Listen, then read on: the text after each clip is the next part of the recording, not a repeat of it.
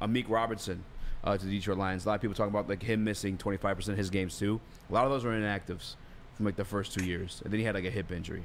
But that's he's a fourth round pick. I mean, you guys have if you have high hopes for uh, if you have high hopes for um, Brodric Martin, I don't know, but Yeah. he's seen a similar situation where a lot, a lot of inactives too, right? So it's like maybe a developmental thing. But the past two years, dude is a dog. Yes. All right, uh, I- Amik Robertson, we kind of got into it a little bit before the show started, but um, I he's very versatile. First and foremost, like he, he can play that slot, you can play outside, but just like the for like he's just he's he's feisty, man. He's really really feisty. I don't want to say that he's fast, but he's certainly quick. Yeah. he's got that, that quick twitch ability, and I, I put it on our uh, our extra page. The, the route against I think it was uh, Rice. It was Rashee Rice, Chiefs, yeah, put him on the Just ground. one hand, yeah. Told him he's too small. That's Mm-hmm. coming from the, the guy that was 5'8", 180 pounds though. Like he he brings that oomph that a lot of people like want to credit CJ GJ with. Yeah, this is like I said, and there's your he's he's not going to be a starter for you if all things go right. That is your guy. That is your Jerry Jacobs guy. That is a guy that you could put out there some depth piece, and you signed him as a depth piece. So I, I love that. Honestly, I thought it was a good signing. He's a guy. He'll get in your face. This is a Dan Campbell, Aaron Glenn fucking guy. He's physical.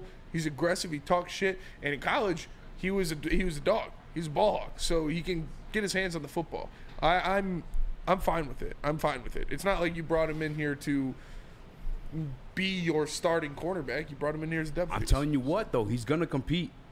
He's gonna compete with somebody out there. I just I, I, I don't see a scenario where he doesn't.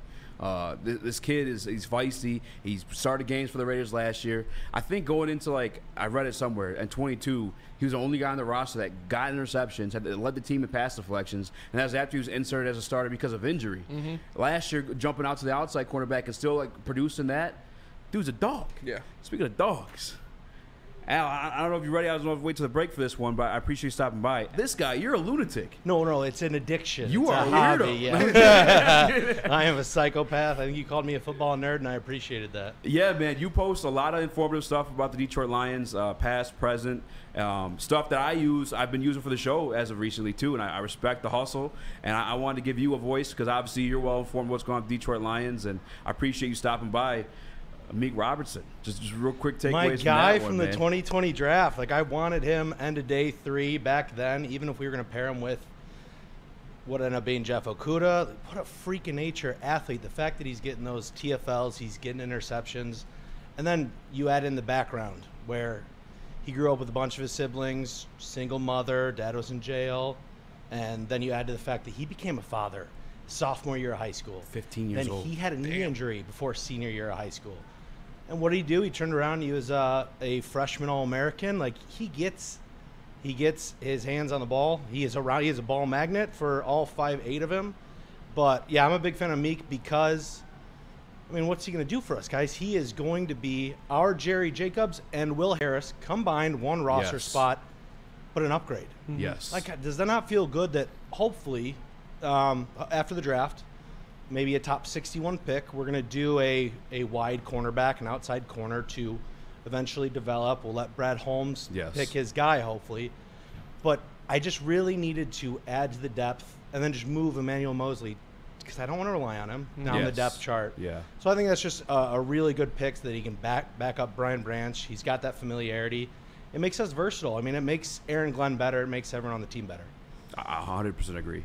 I, I, I talked about it while you were walking in, like the the oomph that a lot of people like to give uh, CJ GJ credit for, and what she did bring it a little bit. I feel like this guy just brings it in like his play alone, without like some of the extracurriculars. You know what I'm saying? And like, I, I think even in camp, I don't think he's gonna start over anybody. Uh, not not like day one or anything like that. But he's gonna he's gonna test them. He's you know gonna push saying? him. He's, yeah, he's gonna light a He's fire in got some the asses. dog. He's got the dog in him, and he's not gonna. Get, he's gonna push these guys to be better because they know you got a guy nipping at your heels that when he gets out there he produces. So He's got the Jerry Jacobs dog in him, Yeah. but he's a little more skilled. Like he has ball Yes. skills, and he he has a little more football awareness. Especially, I mean, most of his plays on the ball are in zone when he's able to turn his back and uh, you know to the back of the field Yeah. and have his eyes on the quarterback. But he can also lock up, similar to Carlton Davis. We're building something here. I, I see there is Yes. a a mind meld between Brad Holmes and Aaron Glenn, and now Deshea Townsend. Yeah. Our, our new defensive backs coach, passing game coordinator, I, I, I trust them. I, major upgrades, and we're raising the floor of our defense. Yes, and I, I forgot to put it out there on, on Twitter. I, I know he writes for uh, for the Athletic. Um, Nick, I think his name. Either way, Nick he- he- Baumgardner? yes, he said that Aaron Glenn got a great value version of Aaron Glenn, and that's that's kind of like what he is. That was my first thought. Going into free agency, I'm like, I mean, there's very few cornerbacks under 5'9 that can play outside. Darious Williams was one of them, yep, um, who maybe was a target, but yep. A little bit older though too, Yeah, right? exactly. Not You as got- quick. God, I love it. Ah, it- it was a good point that we got a version of Aaron Glenn. Feisty. He's always around the ball. He's he knows how to tackle. I'm I, listen, man. I'm excited. Well, how you feeling about Carlton Davis? This has been like a polarizing topic here. I don't know why. I love I, it. I like the way you're describing the break. Not only we were fawning, we were getting some broad shoulder, big bone, burly boy hugs. in. Yes, exactly. So like, I'm glad they didn't show that. I took uh, my shoes off. I, I, I, I, I wear my shoes appreciate you guys for letting me tamper with you. Uh, but yeah, Carlton Davis' length and physicality, I think, is clearly what Brad Holmes and Aaron Glenn were drawn to. I think that's the biggest thing with Carlton Davis III is this feels like there was the mind meld there where this maybe was more Brad Holmes in addition to Aaron Glenn. When we look at last offseason and we take Sutton and Emmanuel Moseley, Aaron Glenn has that deep history from the Nike outing with those two. You have to think that he was saying, These are my corners. This feels a little more like a taste of, of Brad Holmes getting his guy in here. Mm-hmm. A lengthy, 6'1, f- physical, physical line of scrimmage. And, and hopefully we'll have him tackling a little bit better. But it feels good to not not have to back up the beer Brinks truck and, and give away Yes. those draft. I mean, Brad Holmes comes from the college scouting department. Yeah. Yeah. Where is he even? Why are we in the NFC Championship game? 'Cause of the Because the damn picks he's made in Yep. addition to everything Dan Campbell and staff. Yeah. And what do you But- think about people comparing him to Cam Sutton? Like it Ah, just dude, that's driving me can't crazy. be more false. I do understand it because Sutton did play a lot of the the cover two, the Blitzburgh Mm-hmm. uh, zone coverage uh, with the Steelers before he got here, so he wasn't just a man guy. Yeah. and they're lengthy guys, but I do think uh, Carlton Davis offers a little more as far as locking guys up. Yeah. He's not getting lost in space with those guys as much because he's a little bit closer, a little less separation, and um, I mean he's he's younger than when we than we brought Sutton. Sutton was 28 last year. He's Yeah. a year younger. Yeah. And I mean, he comes from one program. He comes from Todd Bowles. He's going to be well coached. Um, he comes from a good organization. I'm, I'm excited for him, and I, I think the fact that we didn't give up a first round pick, I'm enthused by. I was not rooting for that. Yeah. Just given the volatility of cornerback. Yeah. If you look at guys like J.C. Jackson, William Jackson III, going back to Nnamdi Asomugha, I mean, Yeah. Trae Waynes, Byron Jones, Especially the switching Dolphins. schemes like that too. Switching schemes is the biggest thing. You don't Yeah. know if it's going to be consistent. Already, cornerback play is not consistent. Consistent. So if we had expended that kind of pick on on Sneed, um, who actually, speaking of Sneed, do you guys know how many? Everyone's heard the stat. How many penalties he had Yeah, last Seven. year? 17, or right? something like that. 18, about 18. one a game. Yeah. So you guys, why don't you guess? How many from 2021 to 2023? How many penalties did Carlton Davis III have? 17.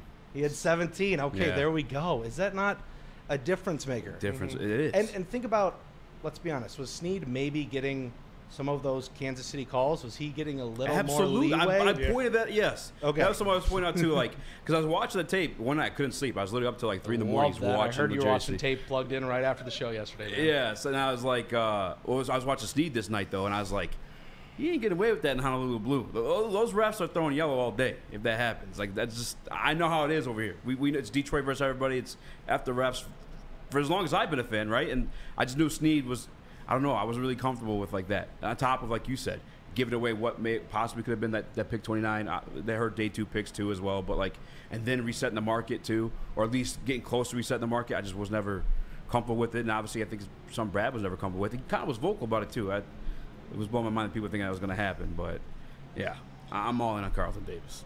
And this is a guy who the Lions played twice this year, and he played pretty damn well against the Lions twice this year. You think that mm-hmm. played like that's in the back of their minds, right? When they're looking at guys, like, "Oh, I remember what he did to us both times we went up against the Bucs this year."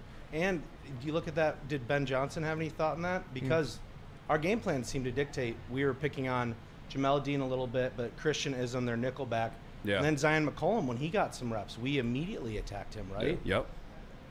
Who's Ben Johnson telling you he's the best cornerback? We're not attacking him as much. And on third downs, guess who's coming over to guard Amon Ra? Yeah. Guess who's coming over to guard Sam Yeah. Laporta? it was Carlton Davis. It- it- the head coach, who's a phenomenal defense coordinator, a former DB himself, and Todd Bowles is like, "Hey, I want you on their best guy." Mm-hmm. It's that, that's what he is. People need to re- recognize that, and that's there's value in that. On top of Brad Holmes having some faith in him and his evaluation of guys too.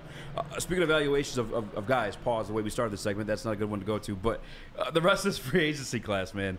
Uh, more specifically, defensive line. That's where Spinny and I kind of waiting for Brad Holmes to take a chunk out of.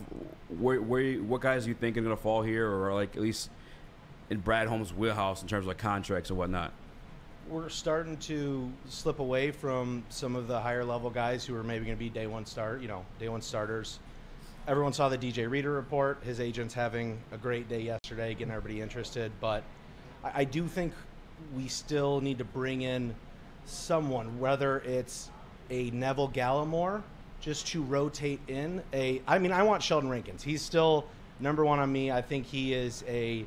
He's got gunpowder in his hands, man. He's got a lot of shock, and he has a history with Dan Campbell and Aaron Glenn in New Orleans. Um, Sebastian Joseph Day is a little more under the radar, wouldn't have as much impact, but Brad Holmes drafted him. Yeah.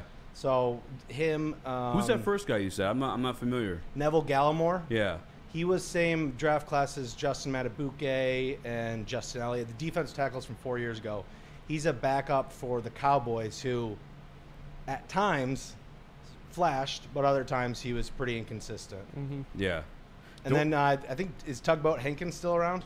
I think he is. Yeah. Okay, he's another guy. I really would like to solidify a nose tackle that can control the pivot. That's what we were just and, saying. and then groom our boy Ricky Martin, you know?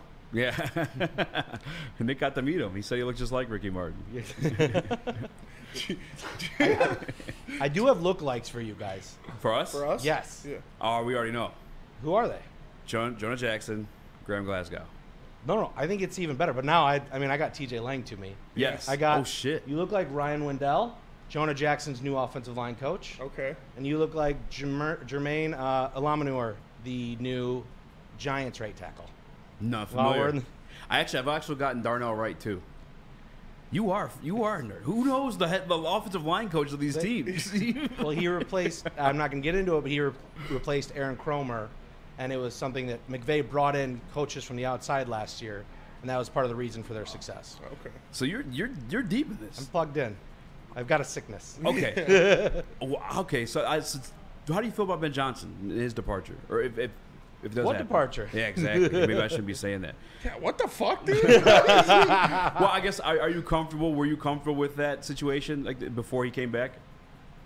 Uh, I wouldn't call me. I would say uncomfy if he had left, but I do believe with Dan Campbell as our head coach, I think he has a hand in some of the play design, some of the schematics, and he helped groove Ben Johnson in when he took over. Um, and Tanner Engstrand, it's just like it sounds like we've got a good uh, young future offense coordinator, possibly in Tanner Engstrand, uh, and the running back coach, Scotty Mitch, Scotty Montgomery. Yes. And then yeah, we've got a good brain trust and the offensive coaches. So I think we would have made it work, but I'm I'm enthused that Ben Johnson's back. Come on, we're all Oh yeah. yeah. Uh, absolutely. That doesn't happen two years in a row. and is is Danielle Hunter? Is that a pipe dream? It's. I mean, we're, I'm we're not looking at it. I'm not considering. He's asking him. for thirty million a year.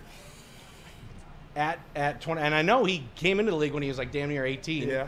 Off Yeah. his like four and a half career sacks at LSU, but no, we can't afford that. Yeah, I agree. Although it'd be a fun pipe. I mean, it's a fun pipe dream, but we have to think about Hutch. all the can- contracts Yeah. down the line. Um, have you done homework on Marcus Davenport? Yeah, I uh, went home last night and I watched a 2022 game against uh, him against the Bengals, and then uh, Vik. The one of the one games he played like 40 plus snaps last year for the Vikings against the uh, Chiefs, and uh, on box score, uh, the Bengals game, he only had like one QB pressure, one QB hit, but he was active and he had jetpack in him, and he was he was beating Jonah Williams, the left tackle, a couple times, forcing um, Burrow to scramble, and he's he'll thud a puller. He can dominate. I mean, he's got the length. Yeah. He's jacked up. He can dominate a tight end. Uh, then I turned on the the second game, and it was like he was 80% of himself. You know, he was a little slower, a little less burst juice um, for the Vikings last year, and hopefully he wasn't 100%. percent Um, and, and maybe you know, taking most of the year off with that ankle injury, he can provide a little bit more. But I am not banking on him being someone um, we rely on. It'll be a nice to have. Like I still think we're gonna have to draft an edge within one of the first three picks. Yeah. Yeah. And, and groom him to be part of our D line foundation. I mean, I mean, what, what was your guys' reaction to it? I so in the It's- limited he's- time he played, he was like super productive. Like it was crazy. Like he was still getting like the sacks. I didn't look at any of the pressure numbers, but like the stat, the sacks in itself, I thought that was crazy. And then the little bit of tape I did watch, dude, that's strong as shit. Like you, how you talk taking on pullers. I was like, holy shit. Like he's just like a pure like. Uh, jetpack, I guess is the word you put. I, I, I like that. I like that. He Yeah. has really strong hands too. Um, stacking guys up and shedding the blocks is what I've seen. But I, I just watched some uh, plays. I didn't watch like an entire game. But it's my question or my concern is like the health, you know. And Brad Holmes has this obsession with like injured dudes. It's, Yeah. it's weird. He finds value in guys with injury red flags, right? But, DJ Reader, bring him home. Yeah, exactly, the- the quad, man. Yeah, that's- I would love it. We just had a we had uh, Dr. Jeff Pierce on BDE today, and he talked about how the quad, like for a big guy like that, is not really that much trouble to come back from, unless Okay. unless it was like a super intense tear, then it could be Yeah. some time. But if it wasn't anything too crazy, he should be back and ready to go. yeah, all right, I love to hear. I mean, would he not be perfect next to Alim? Perfect. Dude. In because he can collapse guys. the pocket on sec, on long passing downs, third Yeah? downs. Yeah. He was instrumental for Trey Hendrickson to get 17 and a half sacks. Because, Exactly, like, and for Logan Wilson Yes. and and Germaine Pratt to get his extension, like he really was the linchpin of that Lou Anarumo defense. Yeah, if, if you're taking double teams every play, like guys around you are going to get better immediately. So that's why I want. I want that big heavy in the middle.